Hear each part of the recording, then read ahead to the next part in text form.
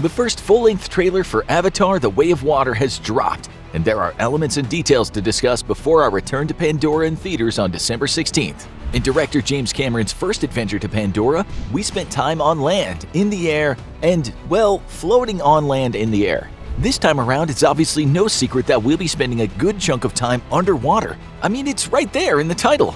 And the trailer wastes no time in showing the Na'vi taking a dive. Of course, James Cameron is no stranger to water-themed adventures. His biggest hydro hits took place on the waves of the Atlantic Ocean, where Jack and Rose, played by Leonardo DiCaprio and Kate Winslet, fought to keep love afloat in the 1997 tear-jerker actioner Titanic. Eight years before that, he took us into the mysterious dark depths of the Bahamas to uncover the secrets of the abyss. And even eight years before that, he helped bring the terrors of the deep to the surface with the, uh, critically questionable Piranha 2 The Spawning. It just goes to show everybody starts somewhere, even the masters. And just take a look at the visuals Cameron and his team are now capable of. The waters of Pandora are teeming with breathtaking visual wonders. Some of the sea life even conjures up some of the same designs and themes we were introduced to in the first movie, like that colorful winged sea creature with intimidating pincers in the foreground. It calls to mind the flying Ikran from the first movie. And check out that sideways translucent stingray jellyfish thingy. So cool. But who are the Na'vi we see in the water amongst the sea life? Is that Neytiri played by Zoe Saldana? Of course, there's the 20th Century Studios logo. The Fox was dropped off the logo when Disney acquired Fox back in 2019. Lightstorm Entertainment is Cameron's independent production company that he founded with Lawrence Kasanoff back in 1990. Lightstorm was responsible for The Abyss Special Edition, Terminator 2, True Lies, Titanic, and the first Avatar, amongst other amazing films. With such big moneymakers under its umbrella, it's no wonder James Cameron has afforded himself 13 years between the first Avatar and its sequel, with three more Avatar movies slated through 2028. Now that's Neytiri for sure. We recognize her iconic pull of a bow from the first movie, but there's something a little different this time around. It appears she's a little off balance thanks to a Na'vi baby in the making. Is that Jake Sully's baby? How is that possible? Can an avatar help conceive a full Na'vi baby? I have a lot of questions, some of which might not be so appropriate for this video, so moving on. Blam! James Cameron! Next, we see we're back in the jungles of Pandora. Remember those fan lizards from the first movie? They light up at night, and the Na'vi call them Kenten. Finally, we're treated to our first line of dialogue.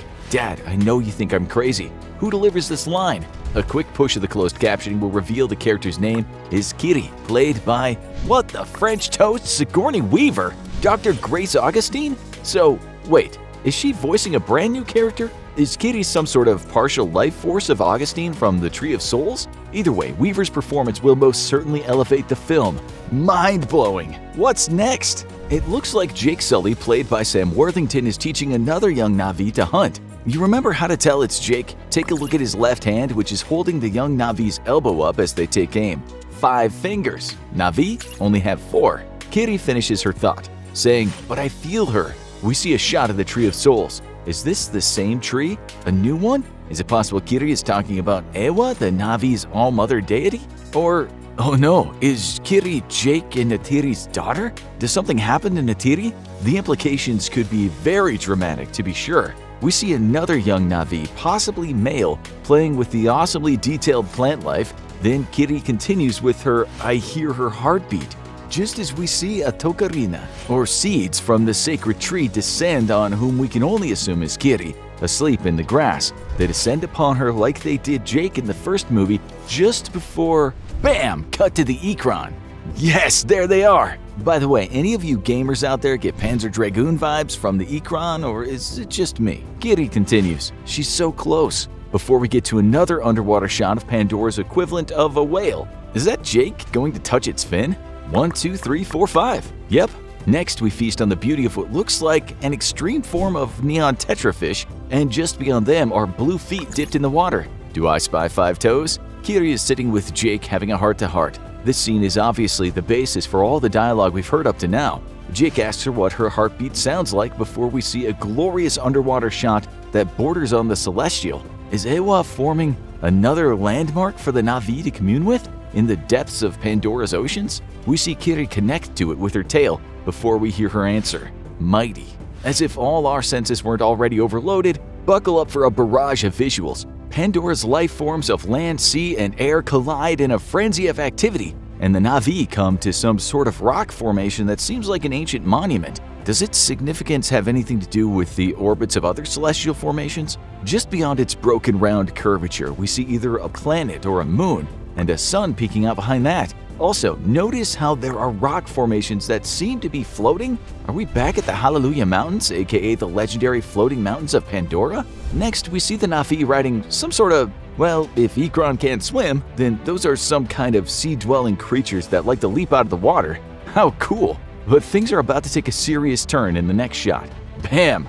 Fire! And our first view of anything mechanical. To the left, there seems to be a soldier in a stripped-down version of an amp suit like the one Stephen Lang's Colonel Quaritch used to fight Jake in the first movie. To the right, is that Jake in military gear or maybe another avatar? I think I see five toes. What do you think? The next shot appears to be Jake's head slowly ascending over the surface of the water. If this shot looks familiar to you, you're not alone. It feels like an iconic shot from the classic war film Apocalypse Now, when Martin Sheen's Captain Willard surfaces from the muck to assassinate Colonel Kurtz, played by acting legend Marlon Brando. If that wasn't enough of an Apocalypse Now reference for you, check out the next shot, where Jake and Neytiri watch as yet another jungle of Pandora is set aflame, not unlike the napalm-filmed opening credits of Francis Ford Coppola's masterpiece. So it appears the human element has returned to Pandora. If that avatar wincing with the skull in his hand is Jake, it just goes to show how fully he turned his back on his kind. But crushing skulls? Where have I seen that before? Well, for James Cameron fans, a crushed skull is a signature of the director's Terminator films. In Terminator, we see skulls rolled over by the HK tank. HK stands for Hunter Killer, by the way. And in Terminator 2, a T-800 robot stomps a skull after Sarah Connor's opening monologue, voiced by Linda Hamilton. As we see a shot of human forces being airlifted out, a new voice emerges. We cannot let you bring your war here. The dialogue is credited to a character named Tonowari, the leader of another tribe of Na'vi. A quick look at IMDb shows that Tonowari is played by Cliff Curtis, a distinguished character actor you might remember from such films as The Meg, Training Day, Blow, and the AMC series Fear the Walking Dead. What the what? Browsing through the cast list, another character seems to have returned from the dead. The intense Stephen Lang is back as Quaritch? How? Well, it's safe to say that Tonowari has every right to be concerned for his people, Whatever shores Jake has brought his people to, notice how the Na'vi there are a different color? They're more of a sea green than what we've come to know. And judging by their wardrobe, they have a deeper relationship with the water. Check out the interesting shells and scales they wear. The next voice we hear belongs to Lo'ak, played by Britain Dalton. There's an actor credited with the part of young Lo'ak, Chloe Coleman. So does this mean there's a large time shift in the film? Anyway, he says that he's seen as an outcast and it's obvious that he endures some bullying. But one character says she sees him, Tsireya, played by Bailey Bass. It's pretty wild to think that the Na'vi we've come to know and love would have a hard time fitting in on their own planet. But hey, who of us hasn't felt out of place once or twice right here on Earth? Something tells me that's precisely what Cameron is getting at. More breathtaking landscapes and life forms follow as Lo'ak says, the way of water connects all things. In one night shot on the water, it appears there are five members to Jake and Neytiri's family, if this is in fact a shot of their family unit. So who's that on the far right? Next, we see a war-battered Jake embraced by Tonowari. Whatever Jake did, he obviously proved himself. That moment is interrupted by some kind of large hydroplane looking to bring the hurt. It's carrying some more mechanized vehicles inside on the left, probably submersible. They'll be fighting this new Na'vi tribe, who seem to have their own species of Ikran as well. They look more like dragonflies, heavy on the dragon. Look at that snout and those teeth, yikes! Lo'ak continues saying, before your birth, which leads to an astounding shot of a young Na'vi child whose head is just above the surface, breathing. It looks like maybe the eye of an Ikran is watching the child. Is this a brand new Na'vi baby? Are they born larger and more mature than human children? Lo'ak finishes with, and after your death, to visions of fiery destruction on a shore filled with Na'vi. It appears there's a dead Ikran or sea animal in the foreground. Oof, this movie is going to be intense. To support my point, this next sequence shows the Na'vi swimming for their lives only to be caught between two submersible combat vehicles. Take a look at that last one. It looks a lot like the submersible James Cameron's cast of characters used to navigate the ocean floor in The Abyss. Neytiri brings her own fire as she yells, This is our home! And we see her and Jake navigating some sort of upside-down sinking base or ship, bringing to mind shades of Titanic, when Jack and Rose race to escape the rising water as it fills the giant ship. Neytiri helped train Jake in the ways of the Na'vi, so seeing Jake pleading for her to be so strong amidst all the destruction is jarring. If at some point she were to leave Jake's side for any reason, it would certainly raise the stakes and drama of the storyline.